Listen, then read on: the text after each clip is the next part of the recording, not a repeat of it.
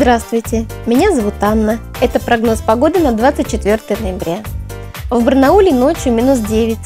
Днем ожидается резкое похолодание до 20 градусов мороза. А вот в Белокурихе днем минус 10, в Горно-Алтайске минус 7.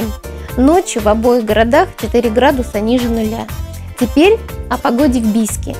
У нас пасмурно, снег, ночью минус 5, минус 7, днем минус 12, минус 14, с последующим похолоданием в течение дня. Все, что нам нужно, находится на расстоянии вытянутой руки. Порой мы бежим куда-то, стремимся, думаем, что где-то там находится наше счастье. А на самом деле оно рядом. Поэтому оглянитесь вокруг, и вы увидите, что у вас есть близкие, друзья, любимое дело. И самое главное, у вас есть вы. Цените это, радуйтесь и налажите свою жизнь.